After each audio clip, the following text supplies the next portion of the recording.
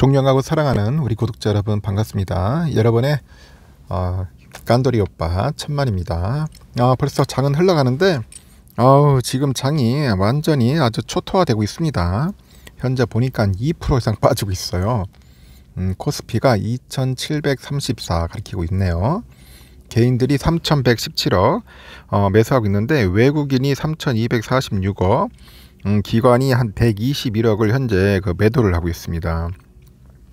그리고 코스닥도 현재 보니까 음, 901을 가리키고 있는데 지금 까딱까딱해요 900선을 현재 보니까 어, 개미들이 아 개미들이 지금 어, 80억 정도 밖에 안, 사, 안 사네요.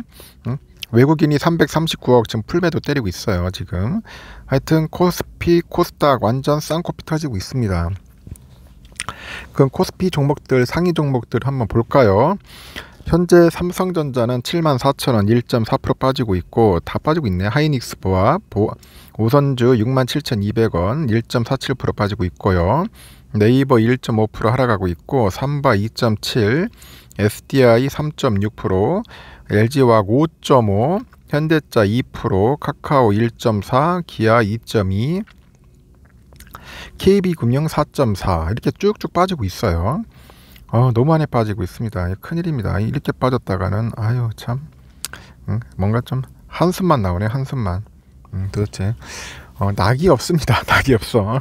이렇게 많이 빠져가지고 음? 그럼 코스닥은 어떻냐? 지금 코스닥도 마찬가지예요. 지금 상위 종목들 음, 다 빠지고 있어요. 셀트리온 헬스케어 4.5% 빠지고 있고 어, 에코프로비엠이 2% 오르고 있네요. 펄어비스 1.4 빠지고 있고요. LNF 1.7, 카카오 게임즈 0.8% 상승하고 있습니다. 하여튼 오늘은 그냥 거의 뭐 초토화된다. 음, 그렇게 보시면 될 것 같습니다. 거의 상태가 안 좋다 보시면 될 것 같고요. 한번 뉴스 한번 볼까요? 음, 뉴스는 뉴욕 증시가 이제 극적으로 이제 상승 마감을 했는데 음, 오전에 주요 그 지수가 동반 급락하면서 어, 시장 내 공포감이 공포감이 치솟았는데 오후 들어서 이제 폭락한 그 기술주에 대한 그 매수세가 유입되는 거야 매수세 유입이 되면서 다시 이제 상승세로 이제 돌아섰어요. 어, 월스트리트는 이날 반등에 대해서는 구체적인 촉매는 없었어. 촉매, 촉매는 없는데 어, 시장 일각에서는 과매도 상황이 발생하다 보니까 어, 강한 매수세가 유입된 것 같다. 음, 그렇게 보고 있고 어, 다우지수는 전날보다 99.13포인트 올라서 34,364.50으로 마감을 했습니다. 0.29% 올랐죠.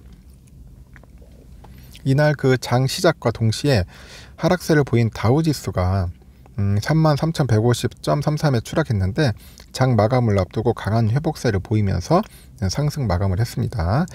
어, 장중에 다우지수는 1000포인트 이상 움직였어. 1000포인트. 응? 왔다리 갔다리면서 S&P도 한 0.28% 올라서 4,410.13으로 거래를 마쳤고 나스닥은 86.1포인트 어, 올라서 13,855.13 장을 마감했고 나스닥도 4.9%까지 하락을 했었어요. 막 떡락을 하다가 4.9%까지 음, 다시 상승세로 돌아서 0.6%까지 상승 마감을 했죠. 어, 2008년 10월 1일 2008년 10월 1일 이후로 가장 큰 폭의 회복세를 기록을 합니다. 음, 국채금리 하락을 했고 어, 이날 1.763 출발했는데 10년물 국채금리가 장중에 음, 1.71까지 떨어졌어요. 장막판에 상승세 보여서 어, 1.716, 716%를 기록합니다. 하여튼 뉴욕 증시는 그 극적인 움직임을 보였고 어, 장 초반만 해도 블랙 먼데이는 피할 수 없어 보였는데 대부분의 종목들이 음, 일제히 큰 폭으로 하락을 했고요. 월스트리트에서 공포 지수로 알려진 음, VIX죠. VIX 그 VIX 변동성 지수 이날 장중 37.95까지 치솟는 거예요. 37.95까지. 그 2020년 11월 이후 최고치 기록했고 미 연방준비제도가 이제 인플레이션에 맞서기 위해서 조만간 강도 높은 긴축 정책을 펼칠 것이다. 그런 우려에 투자자들은 최근 기술주를 중심으로 주식을 투매를 합니다. 하지만 오후 들어서 큰 폭으로 하락한 종목들에 대한 매수가 유입됐고 어, 이 결과 시장은 극적인 회복세를 보여요.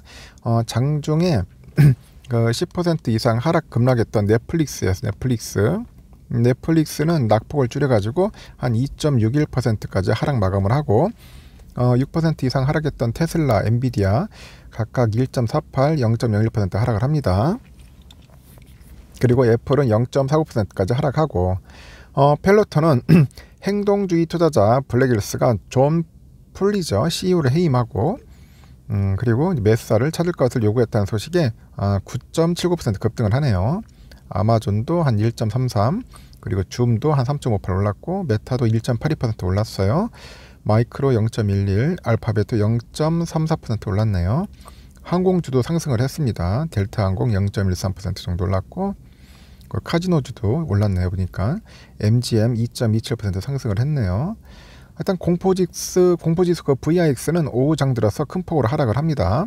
그 전날보다 3.64% 올라서 29.90 마감을 하고 어 일단은 그 JP 모건의 그 최고 주식 전략가라는 사람이 최근에 그 주식장의 위험 자산 축소는 과도한 모습이다.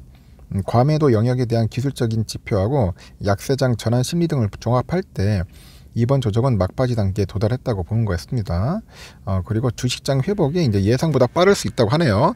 이제 쇼핑 리스트를 만들고 버려진 종목들을 찾아야 할 때 아니냐 어, 그렇게 이제 보는 사람들도 꽤 있는 것 같습니다. 보니까. 어, 시장이 가장 두려워하는 것은 앞으로 연준의 움직임과 비용이다. 어, 그렇게 보시면 될 것 같고요. 앞으로 몇 달 동안은 많은 혼란이 있을 것으로 전자 전망을 하고 있고 어, 또한 증시에 대한 기대감은 여전히 있다면서 어, 그러나 변동성은 상당히 좀 크지 않겠나 어, 그렇게 밝히는 분도 있습니다. 유가는 일단 하락하고요.